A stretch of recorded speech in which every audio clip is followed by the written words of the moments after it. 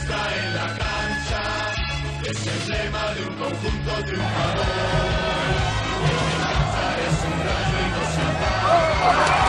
El es un equipo vencedor, pues a rayos que ganamos la batalla.